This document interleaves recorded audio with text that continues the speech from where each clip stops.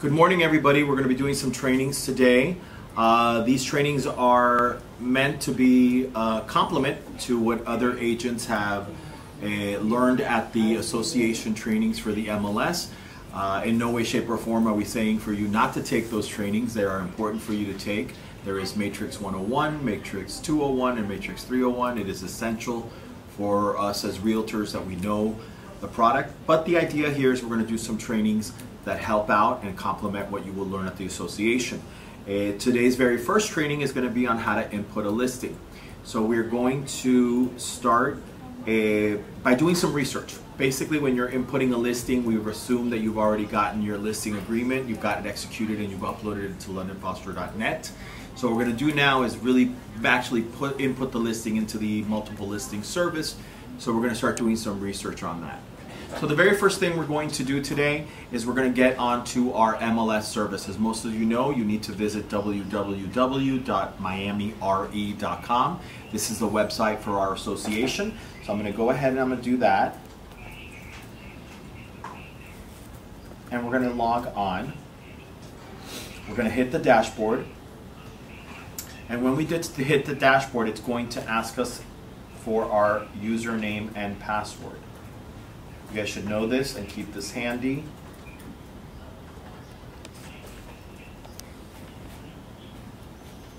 I just input it wrong. I'll do it again.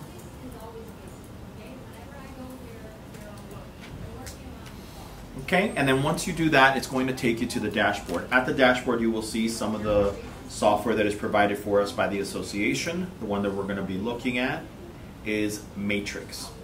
So we're going to go ahead and hit Matrix and while we're in Matrix, there's a couple of ways that you can look up a listing. Um, I'm going to work on a listing that I'm actually going to be putting into the system probably in a couple of weeks. So I'm going to go ahead and, and do it for you because that way it won't be already in the system and it'll be like a brand new way that we're doing it. So the very first thing that I would recommend is that you look it up on the MLS for any previous uh, listings that have been posted for that address. It's a very good uh, trick on regard in regards to education. You get to find out a little bit about how much it was listed for, what the person you know wrote in the description. You get a kind of an idea of what they did that maybe they did wrong. Um, but it's also a great idea because some half of the work is done for you. Okay, I'm not saying to trust it 100%, but at least half of the done the, the work is done for you. You can always verify the work. The second thing is to look at the tax roll. It is important to look up the tax roll. Uh, the tax roll is going to have vital information about the property. It's going to tell you a little bit about um, the square footage. So that's something you might want to verify. The tax roll is also going to tell you whether or not it's homestead, something that you need to advise your clients, you know, when you're showing it, whether or not they're getting that homestead exemption. Um, but we'll go into that. And then there's also IMAP. So it's also important to look it up on IMAP. IMAP will have some of the history of the property, how much it's sold for, how much it's sold for in the past. Eh, it's always a good way of re-verifying that information. So we're going to start with a property that I have, which is 10275 Collins Avenue, number 304. So what would be the easiest way to look it up? The easiest way to look it up would be to look up past listing agreements that have been put into the MLS. And I'm going to go ahead and start by doing a search. I know that this is a single family home or condo, so I'm going to go under single family or condo. I'm not going to be looking for active listings because it's not in the MLS right now. So what I'm going to look for are things that are closed or canceled. You'll notice here that when you put in closed or canceled, it gives you one, uh, 0 to 180 days. Basically, the MLS is automatically going to try to reduce the amount of searches that you make because they don't want you to come up with 20,000 um, eh, 20,000 items because they won't be able to display it. So what they try to do is automatically they give you six months. So what you're going to do is you're going to go in and you're going to take that out. Okay, you're going to open it to, to all the, the history. And I believe at this point the MLS is in nine years. It has nine years of, of history uh, that they record. So we're going to go ahead and put in the building number. The building number, like I said, is 10275. We're going to skip the direction of the street because there is no direction. And I'm going to write the word Collins. Okay, you'll see that I already got 507 um, that it pulled up 507 listings that have closed or have been canceled in that particular building in the last nine years. So I'm going to try to reduce it a little bit further, which is I'm going to write the, the apartment number, and when I do that, it reduces down to two. So that's a great way of looking this listing up. We're going to go look at results. We're going to click here under results. And it's going to show us the listing however we have it in. Um, there are several ways that you can look at it. I like looking at one that I've created for myself, which is the copy. Um, there is also a single line, a single page, a multi-row, agent single line. Um, I like looking at the one that I've created because it has some criteria, but here are two. There's one that says that it has closed, I'm, I'm sorry, that it's been canceled, and there's another one that says that it has closed. So more than likely I'm going to look at the one that's closed, right? Because if it's closed, it worked well. If you look at this, it's going to give us some really interesting information. It's going to give us uh, the, fact, the fact that it was listed at 229, uh, the fact that it was sold at 215. It's going to tell us who bought it, who sold it. Um, all this is fascinating information. It gives us the, the realtor remarks. It's going to give us basically every single piece of information we need. So what I'm going to do now is that I'm going to print it. I'm going to keep this for myself in order for me to print it and have it alongside. So as I go filling it out, I'm going to have a reference where I can go back and say, okay, how can I do this maybe a little bit better? So I'm going to go ahead and print this page and then I'm going to go back to the results. Interesting information. We need to know the folio number. So here it's telling me that the folio number is 1, 2, 2, 2, 2, 604, 305, 30. Okay? I'm also going to look up the MLS number in case I need to get this screen again, which is A19 807 57. Okay, so that's super, super helpful information as we go in and plug it in. Now, if I hit on the folio number, if I click on that folio number, it's automatically going to take me to IMAP. So I'm going to show you really quick what's important on IMAP. So IMAP is going to give me a couple of pieces of information that are going to be very, very important. One of it is going to be who the current owner is. So I've got here that it's Vero 10, so let's write this down. Vero 10 investments. Now, why would that be important? Well, obviously you've already done a, you've already done a listing agreement, but this is again a second step to verify that the person that has signed the listing agreement, the person you're doing business with, actually is the owner and actually is the person that you can that, that can sign for a contract for this. Nothing worse than getting into a contract and then having that contract fall apart because guess what? They're in the middle of a divorce and the wife is not willing to sign. Um, you can look this up on Sunbiz, S-U-N-B-I-Z dot com. Just look up that name and it'll tell you everybody who's on the a association or anybody who's on that um, LLC. But more importantly, it'll tell you who's authorized to sign. Okay, so that's really great information that we have here. It's also going to tell us something about the land it's going to tell us the size of the, the block and plot number. It's going to tell us the size. All of this information is essential. So what we're going to do right now is we're going to print this page. Um, so now that you've looked at the IMAP, you're going to notice that it has some information there. I'm going to print this page to use it again as a reference. But um, great little reference here. And it's going to ask you for this when you're inputting the listing. It'll tell you who the, who the PK to 8th grade is. It'll tell you who the 6th to 8th grade or the middle school is. And then it'll tell you also who the high school is. So these are pieces of information that you're going to need later on in the, in when you're inputting the listing. So it's great to have it printed out and that way it makes your life a little bit easier. If you click on the folio number within IMAP, it'll take you to the tax record. Again, a great piece of information. Um, I like printing these all out to have them next to me when I'm putting in the listing. But also, it's a great piece of information, and I recommend that you print it as a PDF. Keep this in file with you for a couple of reasons. First of all, um, you need to prove where you got this information. Where did I get this information? Can the information change? Absolutely. The owner can go in afterwards and change the tax information. But if you have a printed copy or a PDF of what you put in and why I put it in, this is where I got it from, you're protecting yourself. It's always a good idea. I also like, and I think I did this in the last um, training, the one about contracts. I like keeping a PDF of the tax record of IMAP and of my MLS listing so that when I present an offer, it's always there presented. Um, if I've said that the that the that it's paying four percent, then no agent can come back and say, "Oh no, I read that it said six. No, it's been here. This I saved it. It's there. Um, here in the office uh, of property appraisers, it's going to have some other additional information. It'll tell you the living area, the adjusted living area.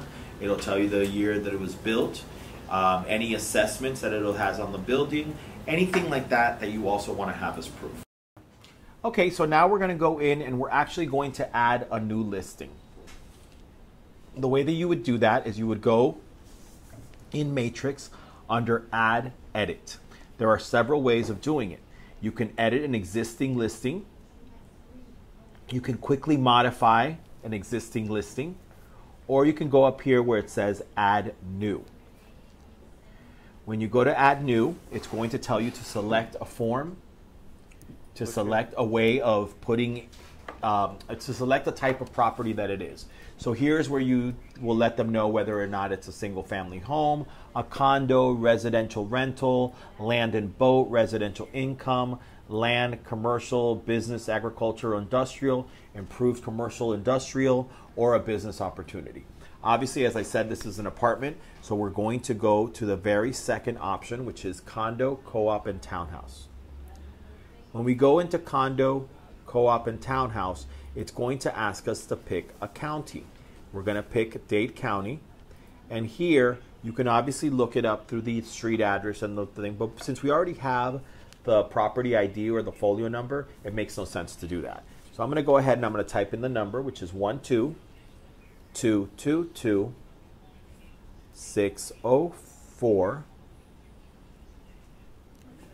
30530. Okay? So I'm going to tell the database to pull from the tax records that folio number so that all that information that is on the tax record is automatically pulled into the listing. And I'm going to say search. And based on my ID, it'll give me a property. You'll notice a couple of things that are interesting. The tax ID is divided into little sections. We'll go over that in a second why. Um, it says 12 22 26 Um, it also tells you the owner's name. The owner's name, again, is just as I had written it Vero 10 Investments LLC. It'll tell you the house number, the street address, the apartment number, the county, and the zip code. Why is it doing this? This is a measure for you to verify that that is the correct property. Okay, so you're going to click on the word fill. And what it's doing, it's exactly that. It's filling out all, all your information automatically into your input from the tax record so that you don't have to go back to this sheet that I printed and write one by one by one by one.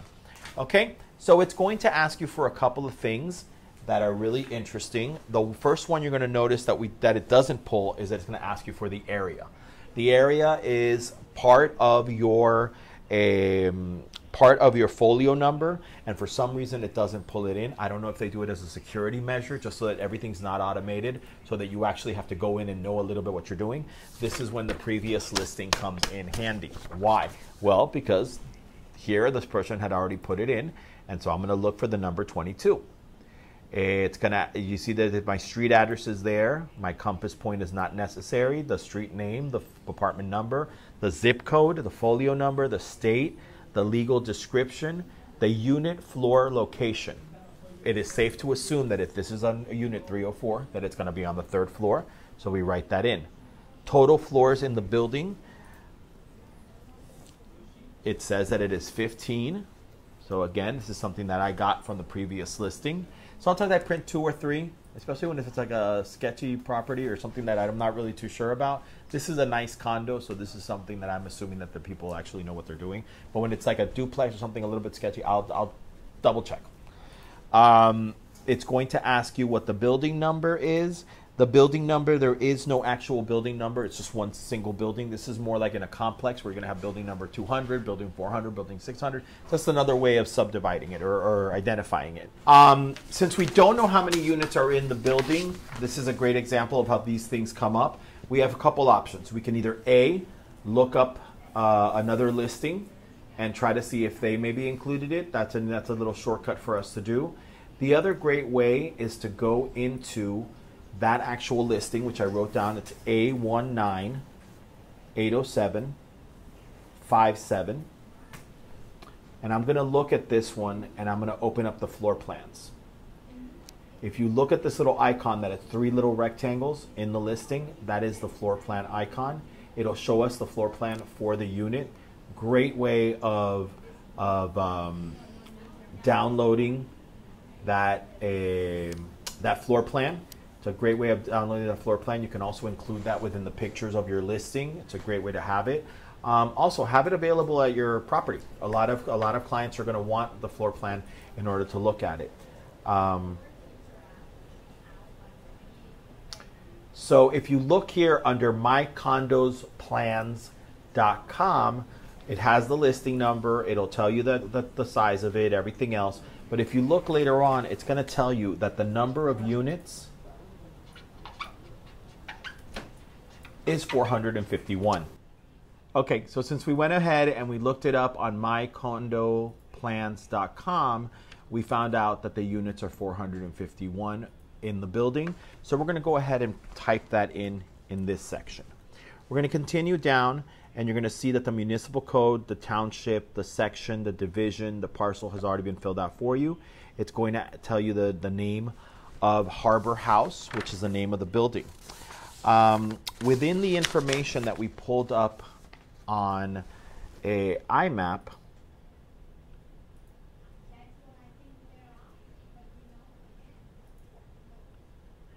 okay, it tells us what is the elementary school, the junior high school, and the a high school. So the very first one is called Ruth K. The second one is called Nautilus. And the third one is called Miami Beach Senior High. Okay, so let's go back into the listing. And we're going to use the drop down menu to find Ruth K.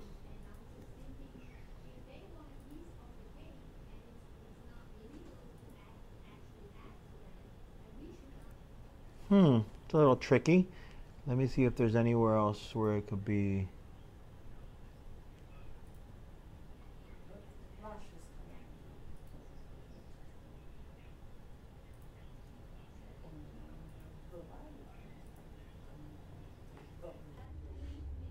Okay, we're going to leave that one blank. We're going to go to middle school. I'll come back to it. The middle school is Nautilus. This one I know that it will be there. So you go under the letter N. You'll see right there where it's Nautilus. I hit Murray by mistake, sorry. There you go, Nautilus. And then it's going to ask you for the senior high school, which is Miami Beach Senior High. Miami Beach Senior High. Development name, if there is a development name, you'd want to add it there. In this one, there is not. If there is a model name, you'd want to add it there. Um, it would be under the condo plans. It would tell you what the model name was. Um, in this one, there is no model name, obviously, because uh, these units are all part of one single condo and it was not a pre construction, it was probably a conversion, so it won't be there. Um, it will add you for a neighborhood, so you could say this is Bal Harbour. Okay, it's also going to ask you for a geographical area and a units in the complex. As we said, it is not really a complex, but if you want to re-add that in, um, you can go ahead and put that in. It's 451 units. And then the geographical area, you would have to look up a, where it says something like Bal Harbour.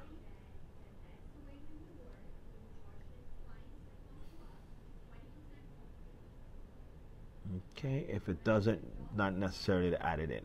What you want to do now is since we finished this page, we're going to validate it. When you validate it, basically it's going to mention these fields are required, these are not. So when you go back up, if you validated and something was missing that they find essential, it'll let you know. Next, you can go on to the general information. The general information it has a, little bit more to do with the actual uh, offer that you're making. It's going to ask you whether or not it is a, a short sale, if there's an addendum, if you need lender approval, if it's an REO, if there is a range, if there is a low list price. And this is done a lot in properties where you don't even where the listing agent doesn't even want offers that are not in between a certain range. My recommendation is give a list price, try to get offers. The offers are awesome for two reasons. One, it might educate your uh, sales client, it might educate uh, the owner on what the, the, the real reality of the property is, but it's also a way of opening up the lines of communication. On this listing, we're going to list it at $330,000. Okay, it's going to ask you for the style. The style has more to do with the building, so it's going to tell you whether it's a condo, one to three floors, a condo, five floors or more, if it's a condo or a, a condo hotel, a co op, which is one to four stories, uh, five stories or more, a townhouse, a townhouse condo, a villa. Obviously, in this case, it is a condo and it has 15 floors, so it's going to be a a C42. Okay, uh, the information on the total square footage comes in. It's going to ask you for the type. This one is a condo. If it's a con, if the condominium or a hotel or a townhouse, you want to make sure you list that. What the front exposure is, okay? This is um, having more to do with where a, the front of the unit is facing. Um, not necessarily applicable in a condo because it doesn't really matter where the door is facing because it's internal. Um, but if you want to add that, you can add that. The building area agent, building area source, auction, auction type, if it's available for lease. And if it is available for lease, you want to make sure that you cross reference the MLS number. So the, the person that is looking at it for sale says, oh, okay, let me show this to my client because this apartment is also for lease and maybe it's for an investment or maybe we can do a deal where they lease it and then they rent to own. Is the unit detached? This is very common um, in uh, townhouses where the townhouse actually does not share a wall. In this instance, it is a moot point, but I'm going to go ahead and include it. Does it have a balcony? It does, so I'm going to go ahead and I'm going to include that. Uh, it asks to ask you when the year was built. This was pulled in from the tax information. It is also available on the condo uh, floor plan. It's going to ask you whether this was a condo conversion, a new construction, a resale under construction. This was a condo conversion. It's going to ask you if it's waterfront. You're going to say yes. HOPA. For those of you that do not know what HOPA is, HOPA is an, uh, an act to protect older persons. So it is the Housing for Older Persons Act. This is a special um, law and protection not only on, on the, the occupant rights, but also it has a tax exemption. So there are a certain amount of rules. This is for people that want to live um, with people of, of likewise age without being discriminatory towards people that have children. So if it is a HOPA property, you need to disclose that. Why? Well, because if you have a young couple at 23 years old buying an apartment, they won't qualify to live in that building. Um, in order for HOPA to, to happen, there has to be at least one person living there that is of senior age, uh, 55 or older. So you don't want to make sure, you want to make sure that you disclose this as soon as possible. You don't want to be presenting offers and getting into contract and last minute. Oh, by the way, this is a HOPA. So since your couple is only 23 years old, they can't live there. So just make sure that you verify that this is not a HOPA building. Uh, in this instance, it is not. It's going to ask you how many garage spaces you have. Um, in this particular unit, there are two garage spaces. It's going to ask you whether they are attached or detached. Um, attached or detached basically means are they in the building or are they outside of the building? uh, again, this is a big condo building, so it's obvious that it's in the garage. Um, but in some smaller condo buildings, it is common that it'll be outside in the front yard or it'll be in the backyard of a small building, especially here in Miami Beach. So you want to make sure that you, you know, uh, disclose that. Are there any carport spaces? In this instance, it is not. It's going to ask you whether it is furnished or unfurnished. In this unit, it is being sold unfurnished. Um, heed a bit of warning when you are selling something that is furnished to make sure you have an inventory list of everything that is inside the unit that will be staying and another inventory list of everything that will be going. Um, you don't want to be faced with uh, uh, last minute. Oh, but that beautiful lamp that I saw in the in the living room, I thought it was part of the of the apartment, and the person's like, absolutely not. It's a very expensive lamp or an heirloom. So you want to make sure that you disclose all that. Uh, but more importantly, you want to know also that when you're doing a sale, the furniture can never be included as part of the sale. It has to be a separate contract, which an attorney has to do. We sell real estate. We do not sell soft items like lamps, sheets, towels, that sort of thing. We do not sell that. So it has to be a separate um, a portion of the contract, like an addendum, that has to be written up by an attorney. The reason why is because when you're doing a sale, you want to make sure that the value of the property isn't over increased especially in a loan situation, by the furniture. If it is, that has to be disclosed and it has to be considered separate because you can't get loan on furniture. You can't add value to a property based on furniture. Um, if there's an additional furniture, uh, you want to make sure you write that out. If there's any dock spaces, if you know the park space number, I don't know if this person included it. No, but this is something interesting for me to ask the owner. What is the parking space number? Why is this important? Well, it, it, will come up. It'll come up in the showing. You should know it. But more importantly, if you already have it, you can look it up while you're showing it, or the person that is coming to bring a client, the realtor is coming to bring a client, will know the parking space number. It happens a lot. People want to know where they're parking, especially if they have a nice car, especially if they have a, a large car. They want to see that the car fits in that space. So just you should have that information. Uh, you want to know what the minimum terms of the lease are. Uh, every every building is going to be different.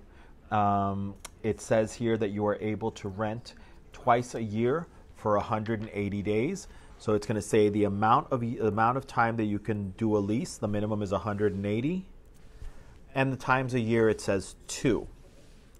Governing bodies. This is going to have a condo board You'll see that it has several different other options like a builder control that means that when the builders uh, developing the, the unit they first have a, like a like a pre-condo board you have a co-op board a homeowners association is very common in um, a, in communities in suburban communities and then when there's no governing body it's usually a small building and it's just simply you know everybody pays a little piece of it and it's, there's something there in this instance there is a condominium it's going to ask you what the main uh, living area is. The main living area is um, either at the entry level, it is on the main living floor, or upstairs. Most of them are going to be that when you first walk in, you're in the living room. But sometimes it's different, so you want to disclose that. It's going to ask you for the unit design. In the unit design, you can put in whatever uh, pertains to it. In this one, we're going to say that it's east of US 1 it is a high rise and it does have a lobby. Parking description, we're going to say two or more.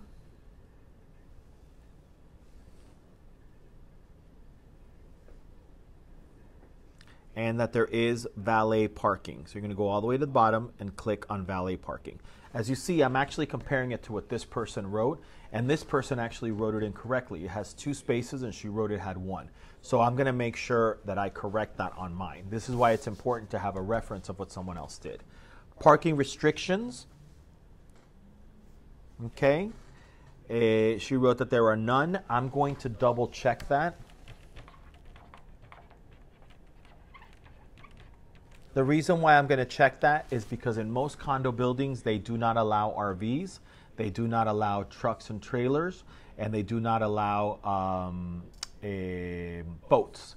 So you want to make sure that that is correct. I'm going to go ahead and verify that. In the meantime, I'm going to leave it blank, but I'll come back to it. Waterfront description, it is oceanfront. Okay, so I'm going to go ahead and add that. Okay, then it's going to ask for boat service. If there is a boat service, I know in this building there is not. There is no dock or anything for you to get boat service. Then it's finally going to take you over to features. If you go down to features, if you go down to features, it's going to ask you features that have to do with the unit's view. In this unit, we have direct ocean view. So we're going to click on direct ocean view. If you have water access, this is usually when you have a dock. Again, we don't have a dock in this one, so it's not the case. It's going to ask us what kind of floors we have. They have tiled floors in this unit. Construction type, we're going to look through all of these. This one is con concrete block construction or something called CBC. So you want to make sure you click on that. Security information, there is a doorman. The elevator is secure. There is the garage is secured.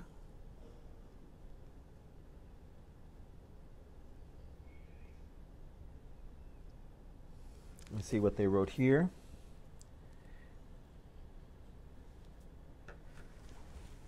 They wrote here lobby secured. Okay, we will we'll write that one in also. Well, I already picked three, so we're good. So again, now that we finished page two, I'm going to validate, and if eh, there is anything that needs to be addressed, it will let me know. As you can see, the very first one, I did not write that it was a, not a short sale, so I actually have to go in and write no. And then I have there under REO, I also have to write no, and then I can go back and validate. So now that I've validated, you will see that there are no red areas. There is one right here that's asking me whether or not there is a deeded beach access. There it is. What did they write here? Deeded beach access. Perfect. So I, I forgot to write that in. I wrote it in. Now I'll go back and validate a third time. Okay, and everything should be fine. Let me double check. Yep, everything is fine. So if you look under location information, the first one that we did, there is one here. Remember, we forgot to write in the area 22 and the complex name.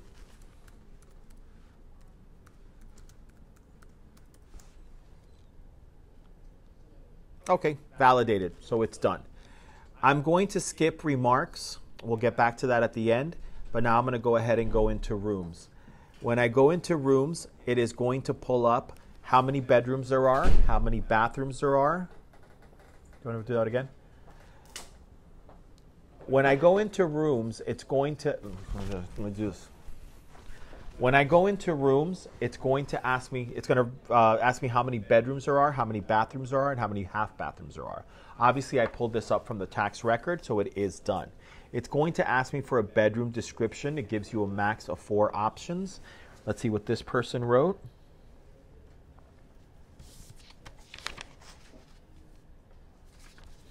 Okay, they wrote entry level and studio. Okay, perfect. So I'll write entry level, studio. It's going to ask me a master bath description, if there's a bidet, if there's a combination tub and shower, if there are dual sinks, if it's a shower only, a separate tub and shower, a whirlpool or spa. Again, you have five options. I, I put in combination tub and shower. It's going to ask me about the additional rooms, if there's a den, a family room, a Florida room, anything that you can add that fits that description. It is a great idea for you to do it here. Okay, there is nothing that's fitting into these.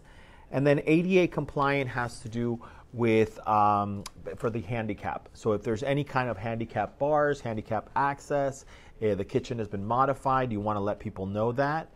Um, and then here it has a very cool little section down here which if you wanted to take advantage of the fact that you have the floor plan, you can do this. For instance, I know that the studio, the main room of the studio is 16.9 by 17.4. Okay? I know that the kitchen is 10.8 by 10 6. And I also know that the balcony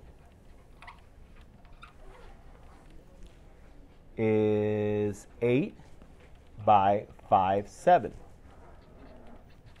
So if you really wanted to do this right and you wanted to take advantage and give as much information not only to the agent, to the realtor, but sometimes to the actual end user, you're able to add these. You'll see here under room type, it'll ask you what you're trying to do. And it could, let me, let me put in the balcony. I'm going to write the balcony dimensions are 8 feet by 5 feet 7 inches. I want to make sure to reiterate this to people because I see this mistake a lot. A feet is one hyphen note, inches are two. So then you go ahead and you click on more, and then you can pick the next room. The next room we're going to do is the kitchen. Kitchen, again, is 10 feet, space 8 inches by 10 feet, space 6 inches. And then I'll go ahead and do one more, which is the actual main room.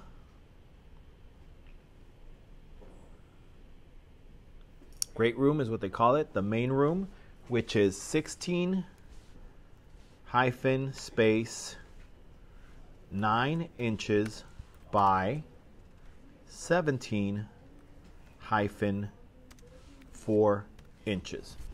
Okay, once I've done that, again, I'm going to validate that all this information is correct. It'll take me up and you'll see that there is no exclamation mark under rooms, which means that that is complete and I can go back in. This is going to be the additional information. It's going to ask you specific information about the building. So again, I've used somebody else's listing as a reference. You want to double check your work. You always want to talk to the management office. If you want to print out two or three people's, that's probably a very good bet. Um, but if we're going to ask you, is it cable, I'm sorry, is our pets allowed? And you're going to say yes. It's going to ask you if there's any restrictions um, on on pets, and it's going to say yes. The restriction is anything larger than 20 pounds. It's going to ask you if there's a ceiling fan. There is not. It's going to ask you if cable is available. You're going to write yes. It's going to ask you the interior features. First floor entry. There is a Roman tub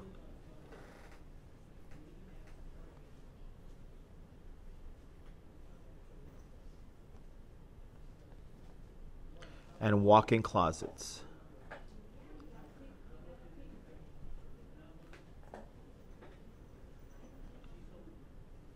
Okay, it's going to ask you about the equipment.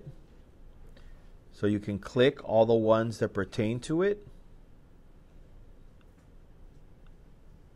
There's a dishwasher, disposal, if there's a dryer, if there's a washer.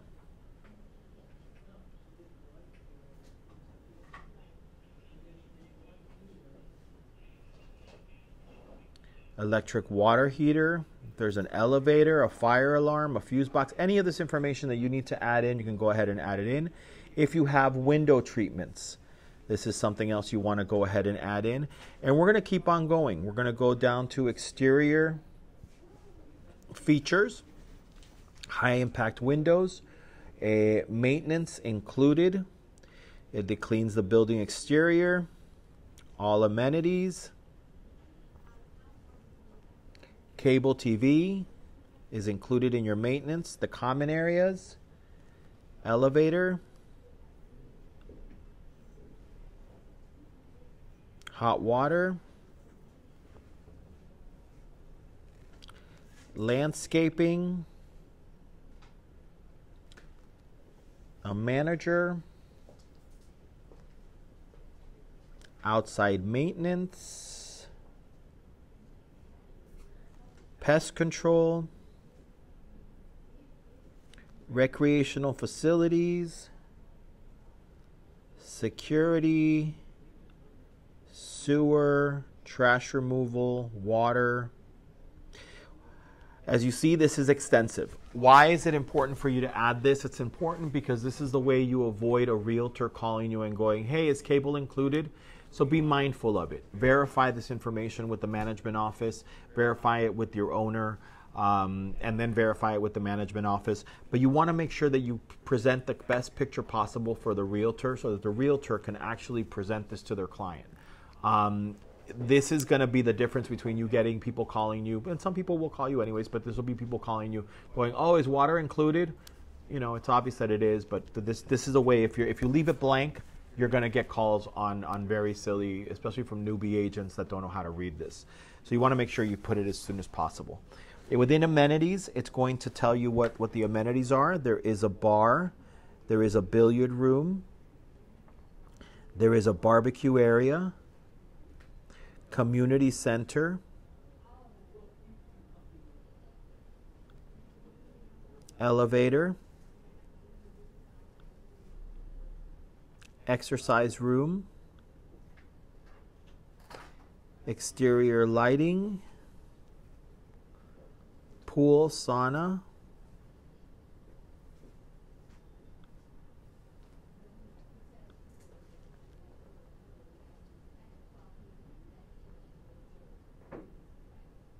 spa, hot tub, and trash chute. Okay, we're going to continue on to the restrictions. Every building is going to have restrictions. Right here, uh, we're not going to allow uh, daily rentals. You can write here okay to lease.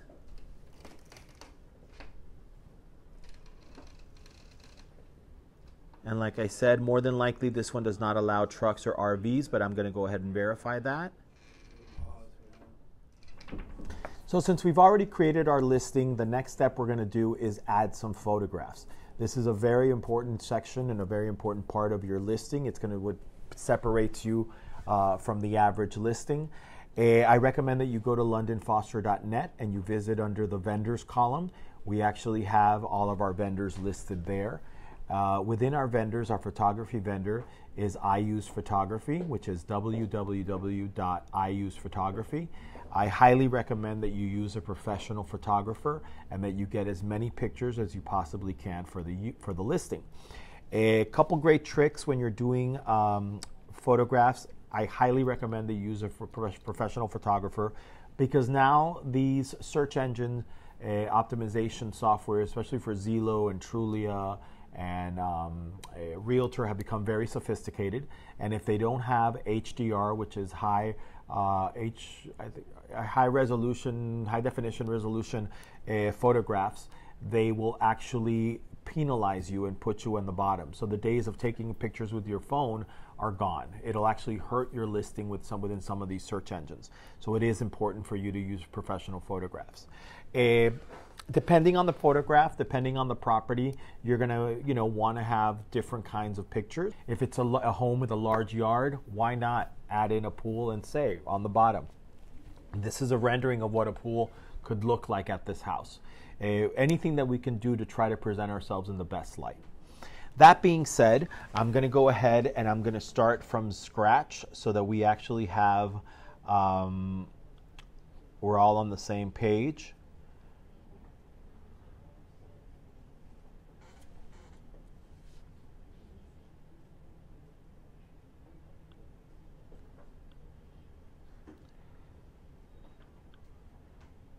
Forgive me one second. I'm going to try to delete everything and I'm going to start from scratch here. I want to make sure that everybody understands how to get back into the MLS. So we're going to start by opening up the internet. And we're going to log back into miamire.com. And again, this is once I've already input the listing. We're going to go into the gateway and we're going to pick matrix.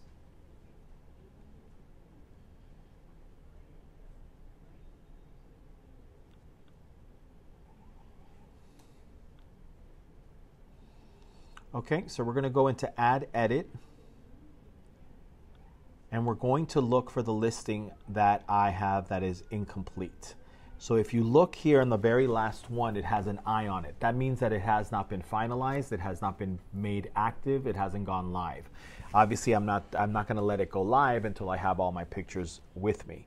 So I'm gonna go ahead and I'm gonna open that up and I'm gonna look through the, the um, uh, menu of options that I have and it says that I can delete the incoming status listing, I can change it to active, I can you know, change the information. I can also manage photos and manage attachments. So I'm going to go to manage photos. Uh, manage attachments is obviously what, what, it, what it sounds like. It's where you would go and put in if you have the condo docs, if you have the condo application, if you have a floor plan, if you have any kind of a financial information on the building, if you have a lot and plot Uh, information, this is somewhere where you would want to do it. Why not offer this to the realtor that's going to be list that's going to be showing your listing so that they come prepared and they actually can do some of their due diligence. It saves you a lot of time. So here we're going to go into manage photos. And here it's going to allow me to download some of my pictures. So what I'm going to do is I'm going to go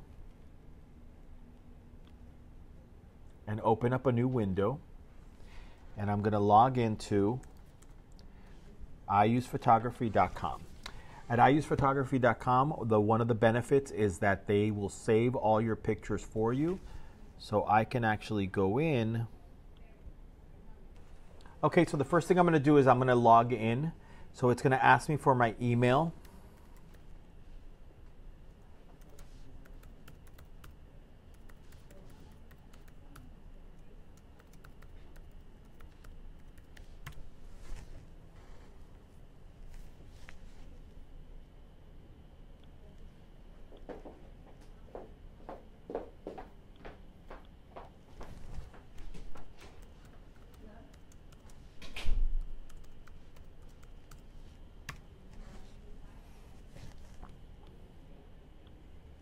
Okay, and that this brings me over to my dashboard. In my dashboard, I'm able to see my previous orders. Okay, so if you look here, you'll be able to look at the ones that I've already ordered. Obviously, I haven't taken pictures on this one yet, but I'm going to go ahead and I'm going to look at this one that says 24 uh, HDR photos, including one twilight. So I'm going to click on that one. And then I'm going to go to my photo gallery.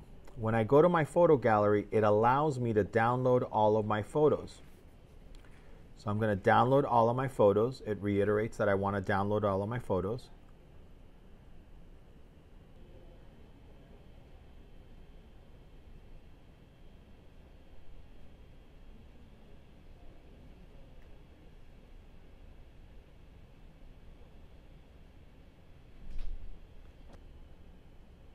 It's downloading. Okay, so once it's downloaded, I'm going to go ahead and open this folder. And if you see, I have an entire folder full of pic photographs. So what I'm going to do is I'm going to get that folder and I'm going to drag it onto my desktop. Okay, so once I've dragged and uh, dragged that all that download folder into my desktop, I can now go back into the MLS and we're going to click on the browse. Okay, so we're going to go from the browse into that folder and we're going to highlight Control A, Command A on an, on an Apple or Control A on a desk on a PC, and we're going to choose all of these photographs.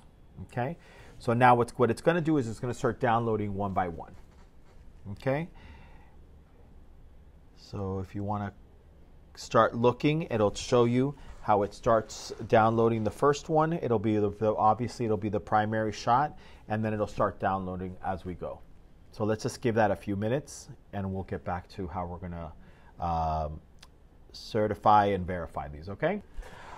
Okay, so they've already downloaded. We've got 26 pictures in here. I'm going to show you a couple of things you can do with the pictures. The very first one is that you can put this little X over the picture and rearrange them. So you can bring this one to be the primary shot. Okay, this was a twilight picture that I took. So, since this is a twilight picture, I want to make sure that I disclose it. So I'm going to click on that, and it's going to bring up a large version of that picture.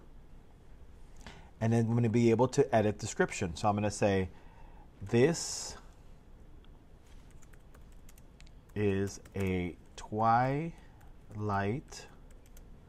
photo edit of the view from the extensive balcony.